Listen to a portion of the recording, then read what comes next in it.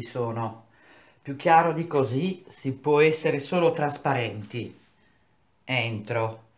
Con lei che da dietro ancora mi tira la martingala mentre un gruppetto di persone stava uscendo e nel vedermi indietreggia per farmi passare, mi mando all'unisono un inchino e torna a disperdersi nella sala perché c'era ormai aria di sbaraccamento e degli stuzzichini sulle console restavano gli spiedini di legno e i tovaglioli di carta. Buonasera, bisbiglio timidamente, a voce non solo bassa, ma tremula, come temendo di essere inopportuno e inarcando lievemente le scapole. Io sarei anche meno pretesco, ma non voglio deludere le aspettative del mio pubblico. Loro ci tengono tanto. Come tutti i servi, stanno molto più sull'attenti se io sul palcoscenico mi presento un po' ingobbito. Il divo Giulio Docet anche se non è stato facile imitare alla perfezione uno che la gobba ce l'ha dal Signore per primigenia unzione. Stavano già tutti girati verso di me, a parte uno che insisteva a mostrarmi le spalle e che ormai, nel pentecostale silenzio ingigantito da un pissi pissi di sagrestia, non si dava pena di appurare cosa era improvvisamente accaduto dietro di sé e che, come se niente fosse e come se io fossi parte di quel niente, stava finendo una sua considerazione e che, con voce ma è proprio lui, l'innominabile. Porca di una Betlemme, porca che ti venga una Lourdes di cazzi di cera in culo e che con voce, a dire il vero, non petulante come quella che sfoggia in televisione, sentenziava tutto giocoso in punta di piedi, neanche acchiappasse farfalle sui fili della luce. E mi si passi l'autocitazione, ma è ora di finirla di dire che i preti sono uomini come gli altri solo perché vanno a puttane o a trans o a incularsi i bambini e mai perché fanno affari sporchi come tutti. Siamo in Italia più che mai. Il marchio fascista è tristemente indelebile a destra come a sinistra. La democrazia qui è democristian mafiosa o non lo è? L'Italia è è a vocazione ottomana. Finalmente è diventata la Bulgaria degli anni Ottanta e lo resterà per un bel po'. Ormai ce l'ha fatta. Qui sono gli uomini a essere preti come tutti gli altri. Il più laico è un ciellino e l'informazione da Repubblica ad Avvenire, ma quello lì, quello scrittore da due soldi, un ex cameriere col complesso di superiorità tipico della categoria dei famigli metropolitani e uno, duole dirlo, al quale non sfugge niente, come se avesse una terza pupilla dove noi avevamo la chierica. No? Non stava affatto finendo una sua trita e ritrita considerazione iniziata chissà quanto prima. L'aveva coniata e bulinata lì per lì. Doveva avermi colto con la coda dell'occhio che era ancora fuori sul marciapiede e quello era il suo discorsetto di benvenuto al cotanto paraculo che secondo lui sono io. Ho pensato, non una volta sola, che avremmo dovuto farlo fuori e lo avremmo anche già fatto se non fosse che avremmo alimentato un mito e ci saremmo dati la zappa sui piedi. Così invece il suo quid lo consuma giorno per giorno, facendo ospitate televisive presso le nostre stesse reti, con sorelle cresimate e marianizzate e defilippate dalla nostra longa manos. E ci fa un baffo, lui, a noi, con i suoi bon mot, volti a ridicolizzarci, ci vendica con le sue stesse arti arti, arguzie spuntate e che lui ne sia consapevole o no, è già stato brevettato e omologato come qualsiasi letterina e meteorina, evelina e bilionarina con tette e chiappe al vento. È funzionale anche lui, come tutti. Una vespa senza pungiglione dal suo porta a porta di figa in metastasi, con le stigmate da minchietta di boy scout. Sei un pretino di quarta segata come tutti gli altri, eh? Beh, che faccio? Posso rilassare le scapole, dovrò pure avvicinarmi alla parete, adesso dare un'occhiata alle installazioni in bianco e nero di questo Giacomelli qua, mica posso fare dietro front, non prima che quella schiena si sia girata. Resta imperturbabilmente girata e lui sembra che se la goda.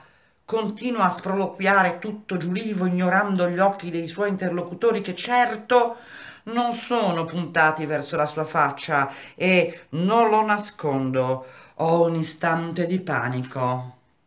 Non so se poi l'anno dopo sono stato ad aspettarlo o no, e automobili che facevano lo stesso rumore che c'era prima di c'erano prima di una dell'una ormai fuori non correvo più a vedere. Avevo solo il compito di portare una manciata di sale nel, giu- nel gabbiotto. Una volta mi sono avvicinato alla capra e stavo per metterle una mano sopra. Forse l'avrei accarezzata ma si mise a muso basso. Impennandosi sugli zoccoli anteriori io scappai. Una carezza va negoziata. Uno mica sempre vuole riceverla e non dal primo che ha voglia di fargliela.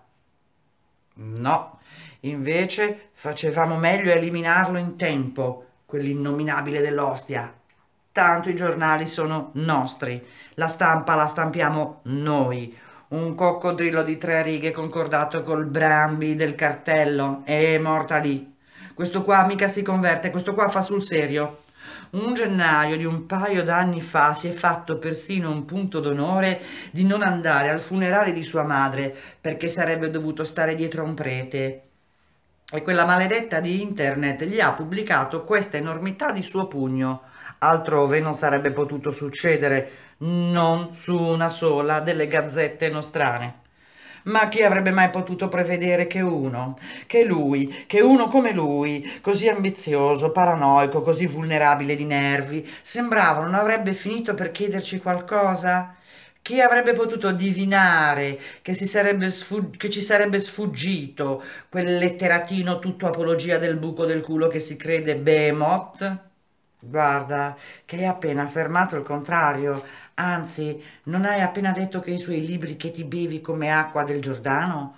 O ti piace proprio bene il deflusso del bidet?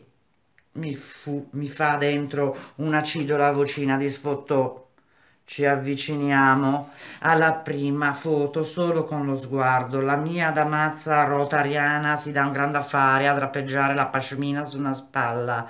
La fa scendere, la fa salire, accoglie a distanza i tributi delle signore come se le assicurasse che anche lei in fondo fa parte dello stesso modesto genere.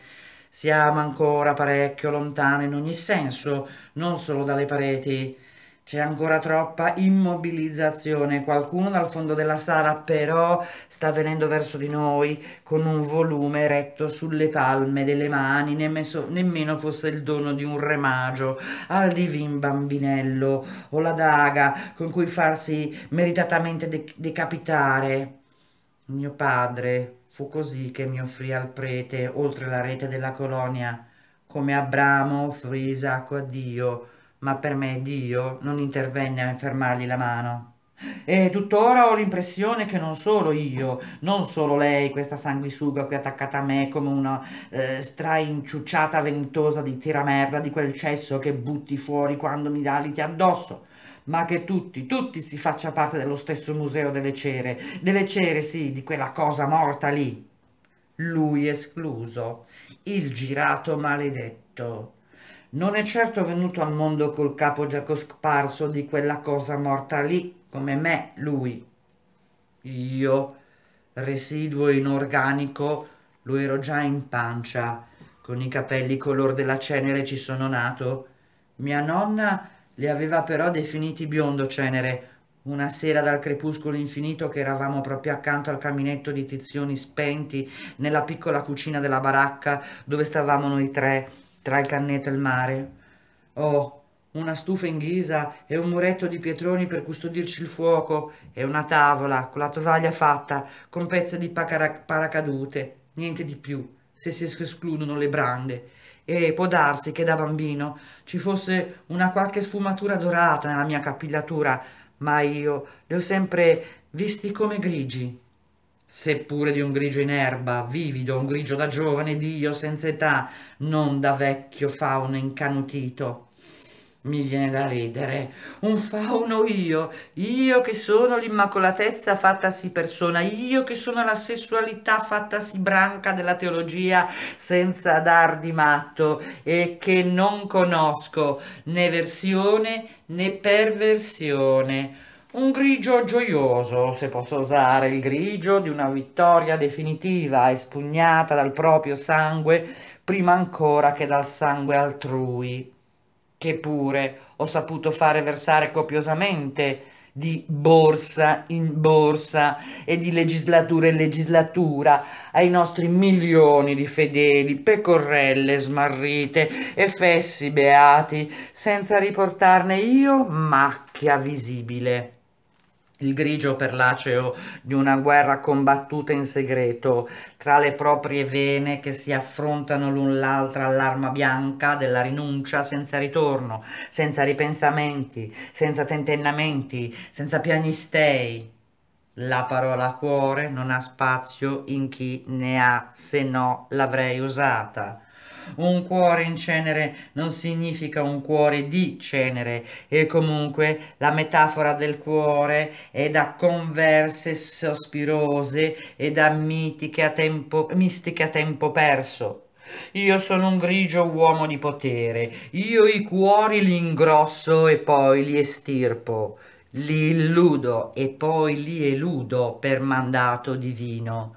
Io ti do la casa, ma poi devo anche togliertela variando i tassi di interesse, altrimenti potresti montarti la testa con quel tetto sopra tutto tuo e cambiare l'ordine naturale delle cose, di chi sta sopra e di chi sta sotto. E dov'è la tua vera casa, che è il tempio di Dio? Io devo stare sopra, voi non so, ma dove sto io voi non potete starci. Potete arrancare sia con la delinquenza che con l'onestà, ma io devo respingervi giù, magari ancora più in basso da dove siete partiti.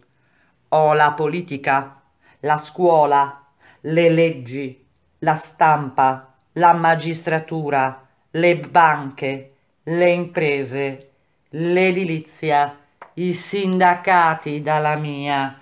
E ho le conoscenze straniere, ne avessi mai bisogno. Uno Stato si trova con un arsenale in disuso che di certo non può distruggere perdendoci investimenti e faccia solo perché è obsoleto io invento la strategia dell'odio tra le due tribù, o due popoli, o due etnie, o due famiglie, in pace fino a quel momento, e il gioco è fatto.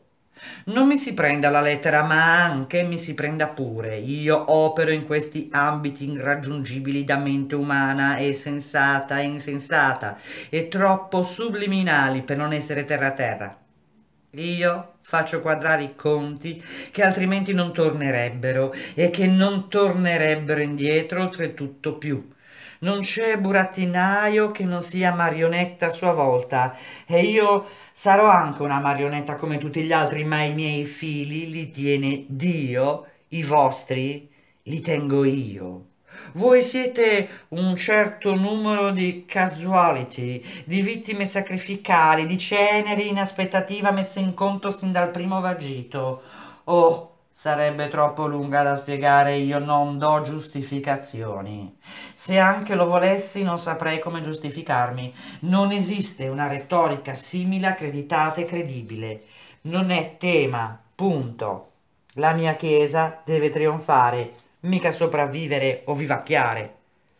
Come è un risibile dettaglio. Io sono il pulviscolo, la polvere sottile, che arriva dappertutto e si impossessa di ogni cosa, di ogni coscienza e di ogni risparmio accumulato al fine più ignobile, la libertà da Dio e dai suoi sicari, uh, vicari volevo dire, Oh, il fascino delle enormi ricchezze e degli stenti indicibili. Io sono la croce e chi inchioda e chi la fa e se la fa pagare salata ogni ora d'uso in più.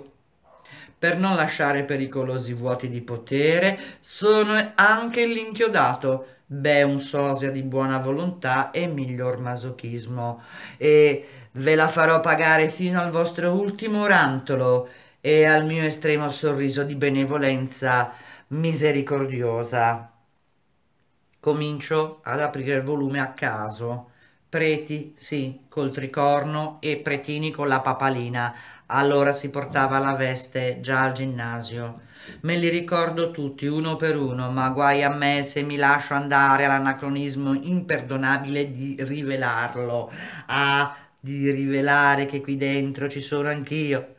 Sarebbe una bella sorpresa. E che titoloni sulle prime pagine domani, se li volessi, si intende. A proposito, nessun fotografo qui? Non mi si immortala neanche un po'? Nemmeno quel tanto da farsi pubblicità e far cassetta? Faccio come sono abituato a fare, faccio finta di niente.